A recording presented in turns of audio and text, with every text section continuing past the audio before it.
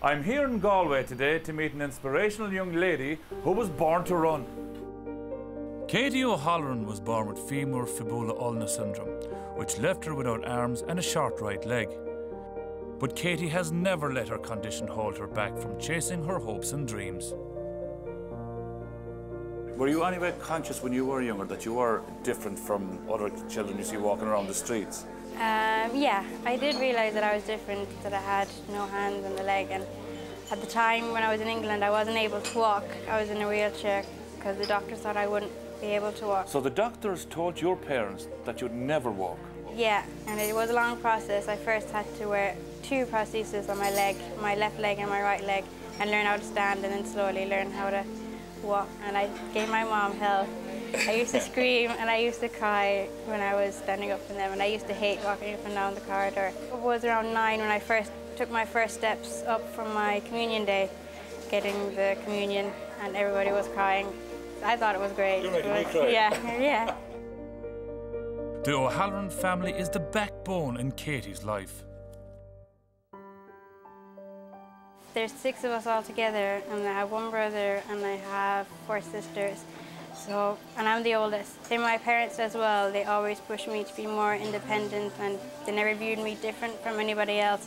So whenever I'm at home and I ask them to go, like, can you get me a drink of water? They're like, no, go get it yourself, or things like that. A great attitude to have. But yeah, I attended a special school over in England called Grove Park School in Kingsbury, and it was kind of for kids who had physical disabilities and mental disabilities.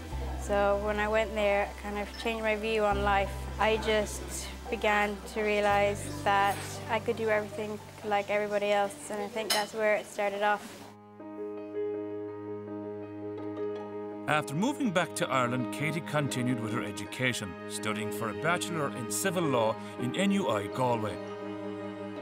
What was it like when you started college? It was a big change because I left home and I moved into Galway and tried to live an independent life.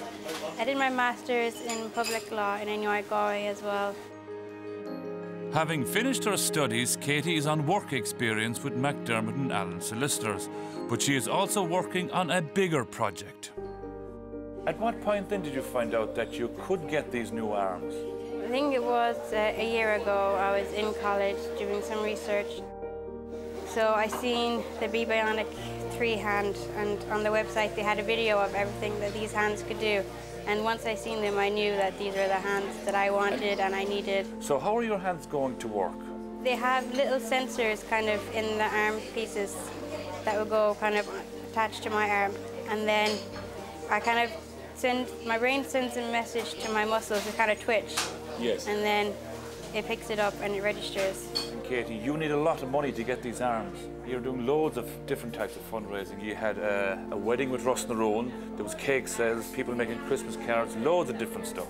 Yep, they're going to cost 300000 for the physio and occupational therapy before, after and during, and also for the prosthetists who are going to make the arms. And there's lots of fundraising events that have gone on from my local community who came together and first established the committee. John Mannion and his management team who have come together to create Katie's League of Champions where they're auctioning off Champions League tickets in aid of my fundraiser for my arms. How does it make you feel, Katie, knowing that all that gang is behind you? It's kind of, it's just phenomenal, unbelievable really that so many people have come behind me to come and support my cause. How are these arms going to change your life? But there's still some things that I can't do with my foot, and so the arms will give me much more freedom and greater independence, and I'll be, they'll also help in my career as well. Right now, my leg is really flexible and agile, but I don't know how it'll be when I'm older, maybe in my 30s. I might not be as flexible, so hopefully the arms will help me write and type, and I won't need to lift my leg up from the table as high anymore.